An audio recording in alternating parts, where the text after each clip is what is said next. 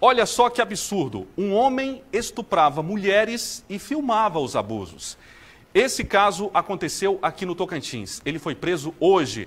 Elias Viana, ao vivo, com mais informações para a gente. Boa noite, Elias. Boa noite, Guga. Boa noite a todos. Exatamente.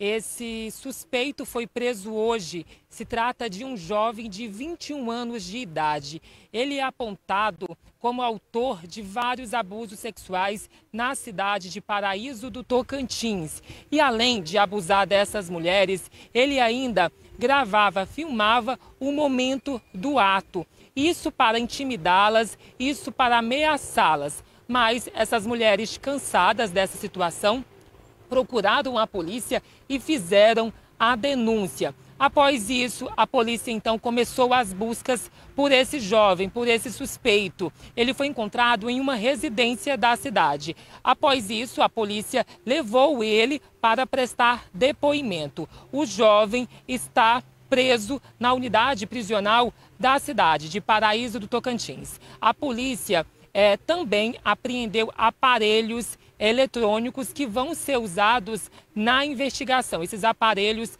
vão ser analisados. É uma situação que choca, Guga, uma situação que chama a atenção.